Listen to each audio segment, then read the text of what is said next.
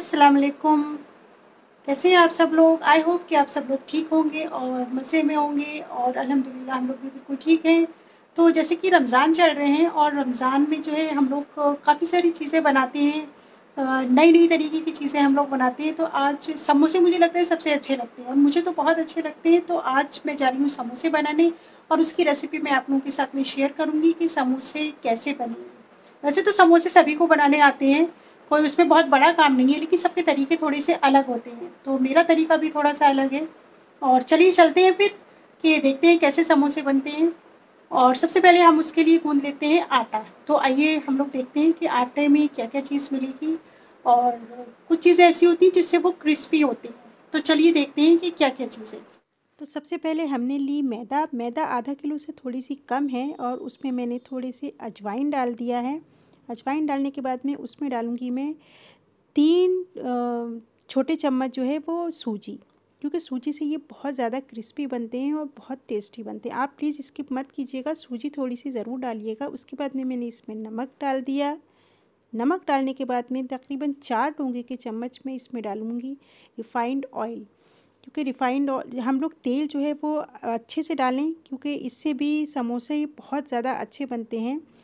और यहाँ डालने के बाद में मैंने इसे अच्छे से मिला लिया। अच्छे से मिलाने के बाद में ये कुछ इस तरीके से जुड़ने लगता है। बिना पानी डाले ही ऐसे लगता है जुड़ रहा है। तो बस इसके बाद में हम इसे गूँध लेंगे और ना इसे बहुत ज़्यादा टाइट गूँधेंगे और ना ही इसे बहुत ज़्यादा ढीला गूँधेंगे नहीं तो अगर ढीला गूँधेंगे तो हमारे समोसे अच्छे नहीं बनेंगे और टाइट गूँधेंगे तो हमसे बेलेंगे ही नहीं समोसे। और उसके बाद में आटा मेरा गूँध गया है, इस पर मैंने थोड़ा सा घी या तेल जो भी आपको लगाना है वो लगा दीजिएगा और एक गीले कपड़े से ढक के रख दीजिएगा।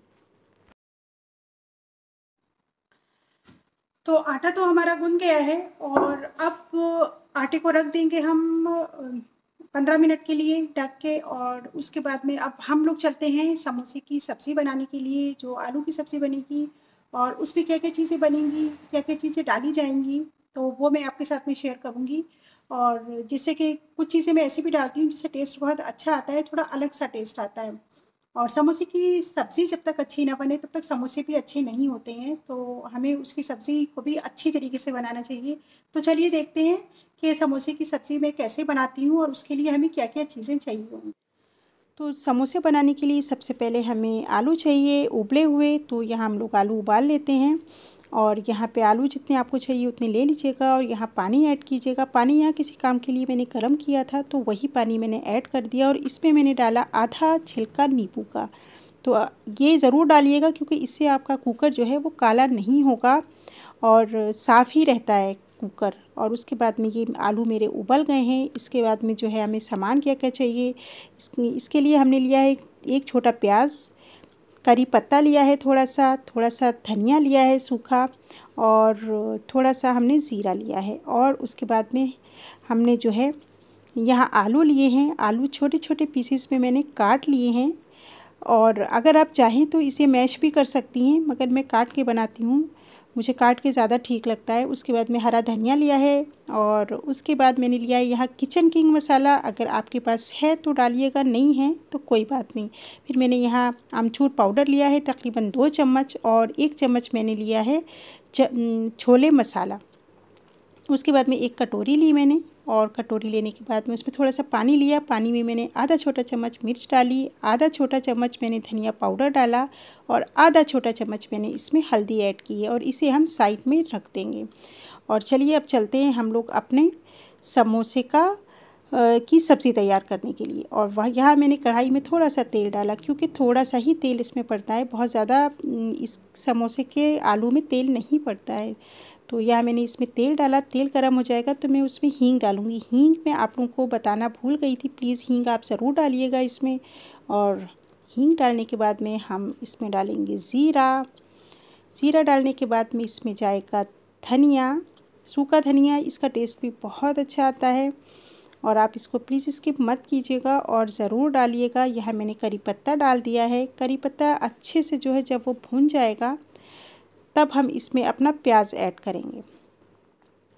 तो अब हम इसमें अपना प्याज ऐड करेंगे और प्याज जब गोल्डन ब्राउन हो जाए, तब उसके बाद में हम इसमें अपने आलू ऐड करेंगे। यहाँ आलू मैंने ऐड कर दिए हैं और सारे आलू अच्छे से ऐड करने के बाद में हम इसे अच्छे से मिला लेंगे।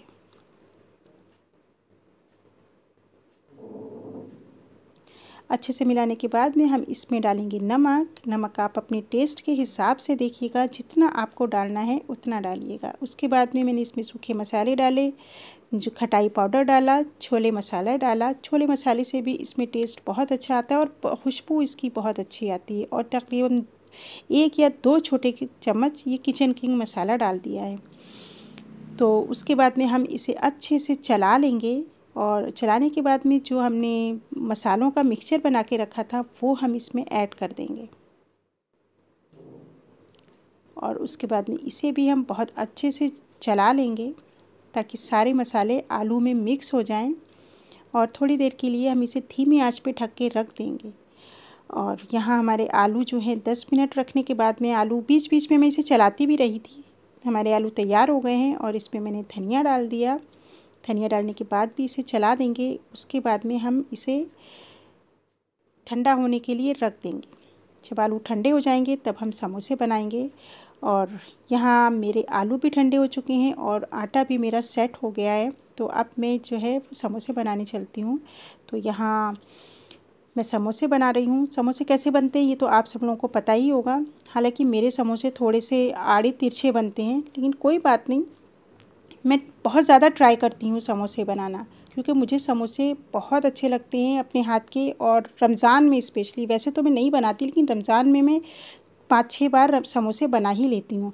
वैसे तो आजकल समोसा पट्टी भी मिलती है, लोग आजकल समोसा पट्टी का इस्तेमाल बहुत ज़्यादा कर रहे हैं बस सब्ज़ी बना ली और समोसा पट्टी मंगा के समोसे बना लिए। यहाँ पे मिलती नहीं है समोसा पट्टी और मैंने कभी ट्राई भी नहीं किया है उससे अगर यहाँ मिलेगी तो मैं ज़रूर उसे ट्राई करूँगी।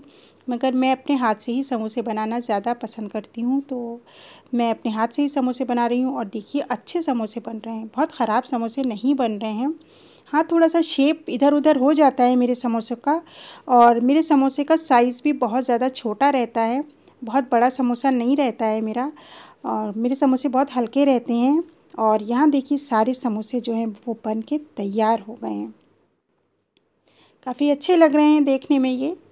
और 21 से 22 समोसे बन के मेरे तो समोसे तो बन गए, लेकिन हमें समोसों के साथ खाने के लिए चटनी भी तो चाहिए होगी। और बिना चटनी के तो समोसे अच्छे लगते नहीं हैं। तो चलिए फिर चटनी भी पीस लेते हैं उसके लिए। उसके लिए हरे धनिया की चटनी पीसेंगे और उसके लिए क्या क्या चीज़ें चाहिए, चलिए वो भी देखते हैं। सबसे पहले हम लेंगे एक जार मिक्सी का। उसमें डालेंगे हरा धनिया। ये हरा धनिया मैंने धो लिया था काफ़ी अच्छे से और करीब ये एक मुट्ठी हरा धनिया है और उसके बाद में डालेंगे इसमें टमाटर कटा हुआ। और टमाटर डालने के बाद में इसमें डालेंगे पाँच छः हरी मिर्च। हरी मिर्च डालने के बाद में उसमें डालेंगे हम लहसुन, थोड़ा सा लहसुन, एक चम्मच के करीब ज़ीरा और एक चम्मच के करीब नमक। नमक आप अपने टेस्ट के हिसाब से देख लीजिएगा और बस इसको जो है हम पीस लेंगे। और यहाँ हो गई है हमारी चटनी एकदम तैयार और कितनी बढ़िया लग रही है और उसके बाद में हम इसमें आधा नींबू का रस मिला देंगे। इससे इसका टेस्ट बहुत अच्छा हो जाता है। आप बना के देखिएगा ऐसी चटनी। और इसका कलर भी हमेशा जितने दिन भी आप रखे रहेंगे, कलर इसका ऐसा हरा ही रहेगा। तो चटनी तो हमारी बन गई यहाँ। चलिए चलते हैं समोसों को फ्राई करने के लिए और रिफ़ाइंड ऑयल मैंने यहाँ गरम कर लिया था और बहुत तेज़ गरम मैंने नहीं किया था। और यहाँ ये समोसा पता नहीं मेरा किस शेप का बना था। लेकिन कोई बात नहीं कभी कभी गड़बड़ हो जाती है और एक आध समोसा ऐसा बनना भी चाहिए। तो सारे समोसे मैंने ऑयल में डाल दिए थे और उसके बाद आँच जो है इसकी धीमी रखिएगा, बहुत तेज़ मत रखिएगा, क्योंकि अगर आँच तेज़ होगी तो ये बाहर से जल जाएँगे और अंदर से कच्चे रह जाएँगे, सही से सिक नहीं पाएँगे।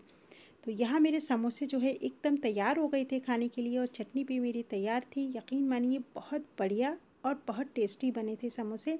कभी अपने हाथ के समोसे बना के देखिएगा। तो इसके साथ मैं यहीं पे वीडियो को ख़त्म करती हूँ। अगर अच्छी लगी हो तो लाइक कीजिएगा, शेयर कीजिएगा और सब्सक्राइब कीजिएगा। अल्लाह हाफिज़।